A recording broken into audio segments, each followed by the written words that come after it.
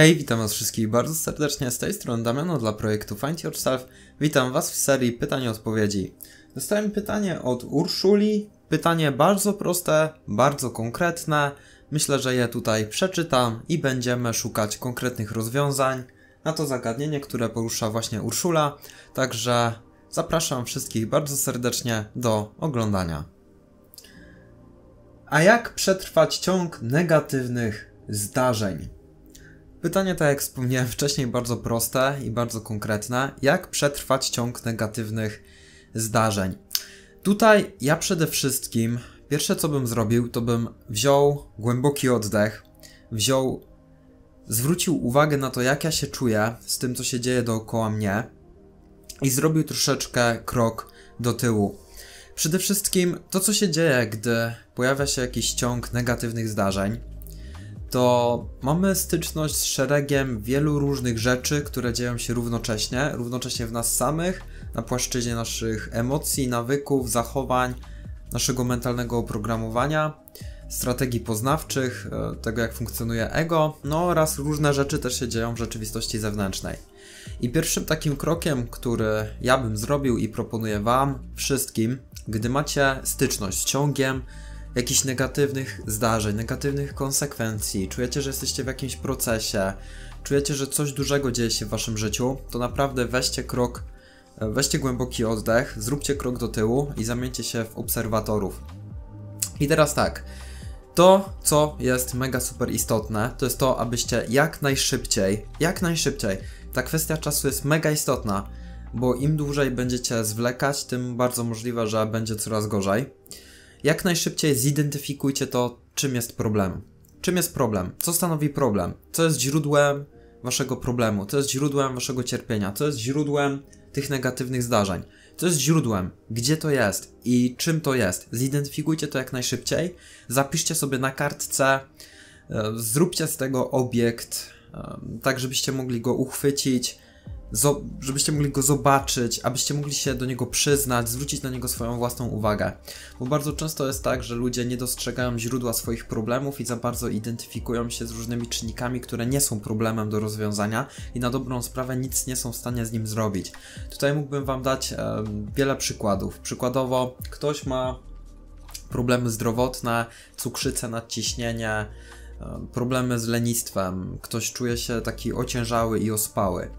No i czuje, że z tego powodu pojawia się jakiś ciąg negatywnych zdarzeń. Chodzi po lekarzach, nie jest w stanie roz, rozwiązać swoich problemów chorobowych, ma zaniżone poczucie własnej wartości, czuje się po prostu słaby i zaczyna się pojawiać szereg negatywnych zdarzeń. I okazuje się, że problemem jest przykładowo otyłość. I gdybyśmy skupili się na rozwiązaniu problemu otyłości, to nagle resztę problemów moglibyśmy rozwiązać.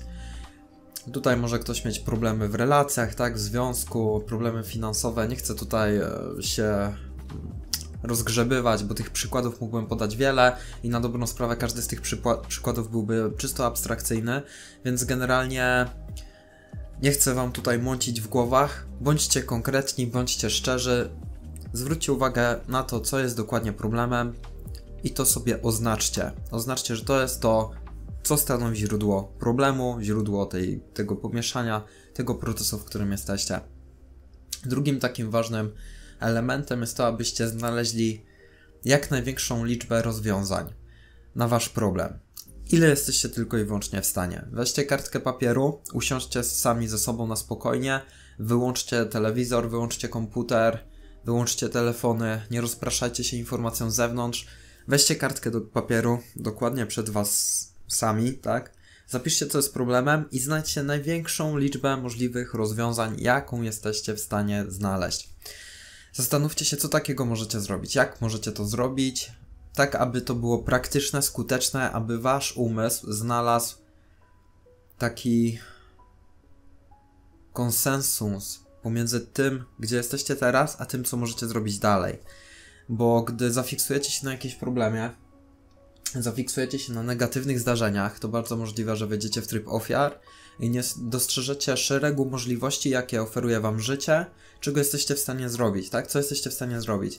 I gdy przywołacie do swojego umysłu, do swojej pamięci, do swojej świadomości taką możliwość, że jesteście w stanie cokolwiek zrobić, To mogą być pomysły, które wydają Wam się najbardziej abstrakcyjne, ale chodzi o samą świadomość, że jesteście w stanie coś zrobić, to zaczniecie coś robić. I przede wszystkim zmieńcie swoje nastawienie. Zaczniecie uczyć się takiej świadomej kontroli nad tym, nad czym macie kontrolę, czyli nad Waszym procesem poznawczym, nad Waszym umysłem. E, trzecią taką opcją, co takiego możecie zrobić, jak przetrwać taki ciąg negatywnych zdarzeń, to jest to, abyście znaleźli formę wsparcia wewnątrz Was samych oraz zewnątrz. To, co się dzieje, gdy macie styczność z ciągiem negatywnych zdarzeń, to jest to, że Wasze emocje zostają mega rozregulowane. I generalnie włącza się taki tryb przetrwania, tak? Dlatego Urszula nazwała przetrwanie przetrwaniem i opisała to w taki troszeczkę negatywny sposób, tak? Ale gdy coś wytrąci nas z równowagi, praktycznie nie jesteśmy w stanie myśleć o niczym innym, jak tylko i wyłącznie o przetrwaniu. I bardzo często zapominamy o tym, że możemy nauczyć się regulować nasze emocje. Możemy nauczyć się regulować nasze emocje wewnętrznie, możemy nauczyć się regulować nasze emocje zewnętrznie. Wewnątrz możemy to robić poprzez obserwację, uważność, odpuszczanie, wyluzowanie, tak, relaks, medytację, jogę, sport, spacer. Na zewnątrz możemy to zrobić poprzez uzewnętrznienie nas samych, kontakt z ludźmi, kontakt z bliskimi, kontakt z jakimś otwartym środowiskiem, kontakt z terapeutą, coachem, prowadzenie dziennika, tak? Są różne formy wsparcia wewnątrz nas samych, które możemy sami sobie dać, tak? Przykładowo samo wsparcie, samo coaching, ale są też formy wsparcia z zewnątrz. I każda forma wsparcia ma na celu regulację Twoich emocji, czyli dojście do równowagi, dojście do balansu, uziemienie, tak abyś czuł wewnętrzny sens klarowności oraz spójności abyś jeszcze sam dodatkowo nie dokładał sobie cierpienia, tak? Żebyś nie dokładał sobie niepotrzebnych zwątpień, wątpliwości, lęków, obaw, tego chaosu, który bezpośrednio wynika z ciebie samego, który sam sobie dodatkowo dokładasz do tego. Bo bardzo często jest tak, że mamy jakieś tam doświadczenia, niektóre te doświadczenia mogą być naprawdę negatywne, może coś nam się wydarzyć. Um, przykładowo dzisiaj byłem samochodem w sklepie, chciałem pojechać do Biedronki i zostawiłem samochód na parkingu i tak się akurat zdarzyło, że zatrzasnąłem kluczyk e, w samochodzie. No i wyszedłem, zaraz obok przejeżdżała śmieciarka, panowie poprosili mnie, żebym przestawił samochód, ponieważ nie byli w stanie się zmieścić na parkingu. To był taki dosyć duży parking, no ale śmieciarka też jest dużym samochodem, e, no i generalnie nie byli w stanie się zmieścić. No i wtedy uświadomiłem sobie nagle, że mam kluczyki w samochodzie zaczaśnięte. No ale miałem sobie wewnętrzny spokój, nawet optymizm i nawet no, nie miałem powodu, aby się smucić i powiedziałem panom, słuchajcie, z miłą chęcią bym odjechał, ale zatrzasnąłem właśnie kluczyki w samochodzie. No i jeden z panów się mile uśmiechnął, no i pomógł mi przy pomocy druta, którego wyciągnąłem e, z siatki takiej starej siatki obok, która była no, kawałek fragmentu ogrodzenia. Wyciągnęliśmy, no w sumie nic nie wyciągnęliśmy. Otworzyliśmy szybę w samochodzie i udało mi się uzyskać kluczyki, tak. Tutaj w sumie nawet nie uważam tego za jakikolwiek problem, bo nie widziałem w tym żadnego problemu. No tak stosuję to jako taki przykład dla Was, bo miałem takie wewnętrzne poczucie spójności, wewnętrznej satysfakcji, wewnętrznej równowagi, że generalnie e, wszedłem, nie chcę tutaj powiedzieć, że wszedłem w coś konkretnego, ale no po prostu nie miałem żadnego problemu sam w sobie, tak? Niczego nie dokładałem, nie dokładałem jakiegoś cierpienia, smutku, pesymizmu, nie użalałem się nad sobą, nie miałem jakiegoś poczucia winy czy wątpliwości, po prostu się uśmiechnąłem, powiedziałem to co jest, prawdę, tak? I panowie aż ochoczo chcieli mi w tym po prostu pomóc, więc pomogli mi, otworzyliśmy samochód i pojechali sobie dalej. Pamiętajcie o tym, bo to jest mega super istotne. My sobie wiele cierpienia dokładamy sami do głów, które jest nam kompletnie niepotrzebne. I to jest, e, szczerze wam powiem, to jest bardzo widoczne w relacjach międzyludzkich, nie? No bo popatrzmy na to z takiej perspektywy, że życie samo w sobie jest jakie jest, tak? Cierpimy, tak? Mamy jakieś cierpienia, problemy, są dobre, lepsze dni, gorsze, lepsze Czasami zdarza się jakaś katastrofa, klęska, jakieś przypadki, wypadki, to i tamto. I to jest, są normalne aspekty naszej egzystencji. Tylko my czasami sami dokładamy sobie do tego cierpienia, tak? Mało nam takich normalnych ludzkich problemów, nieraz musimy sobie jeszcze podukładać. bo nam się nudzi. Uważajcie na to, naprawdę, to jest kompletnie niepotrzebne. Nie musicie się udręczać, nie musicie się zadręczać, nie musicie się krzywdzić, nie musicie. Po prostu starajcie się utrzymywać względną równowagę i taką prostotę w życiu, tam gdzie jest ona potrzebna, a rzeczy, które potrzebujecie rozwiązać i rzeczy, nad którymi chcecie popracować, macie jakieś problemy, naprawdę je zidentyfikujcie, znajdźcie jakieś rozwiązania, no i działajcie dalej. E, punkt czwarty to jest wejdź w tryb obserwatora. Wprawdzie wspomniałem o tym na samym początku, ale tutaj warto jest troszeczkę głębiej na to spojrzeć. Tryb obserwatora umożliwia Tobie konkretną obserwację zjawiska bez osądu, bez przypuszczenia, bez założenia, bez poczucia dokładania do czegoś jakiejś swojej własnej spekulacji czy e, jakiegoś przekonania o charakterze negatywnym. Po prostu nic nie wiesz i się do tego przyznaj. Jak masz z czymś problem i widzisz, że ten problem się ciągle powtarza, to znaczy, że nie jesteś w stanie go rozwiązać. To znaczy, że nie masz wystarczających kompetencji. Jesteś, jesteś po prostu, no, potrzebujesz czegoś, potrzebujesz jakiejś wiedzy, jakiegoś wsparcia, potrzebujesz się czemuś przyjrzeć, potrzebujesz dowiedzieć się prawdy na jakiś temat. Potrzebujesz tego, bo gdybyś wiedział doskonale, z czym masz problem oraz jak go rozwiązać, to byś się nie zastanawiał nad tymi kwestiami, po prostu robiłbyś swoje. I tryb obserwatora umożliwia nam taką obiektywną obserwację danego zjawiska bez mechanizmów obronnych, bez racjonalizacji, bez projekcji, bez niepotrzebnej jakichś tam wątpliwości czy chaosu, bez dystraktorów, tak? Nie rozprasza się pierdyliardem rzeczy, po prostu skup się na tym, co wymaga Twojej uwagi, poobserwuj, dostrzeż mechanikę działania czegoś, jakiegoś może nawyku, jakiegoś Twojego zachowania, czyjegoś zachowania, jakiejś Twojej tendencji, braku, potrzeby, miejsca, w którym jesteś w życiu, poobserwuj po prostu i bądź z tym ok. Nie szukaj natychmiastowych takich e, rozwiązań, które niczym pigułka miałyby sprawić, że nagle schudniesz albo zarobisz miliard złotych.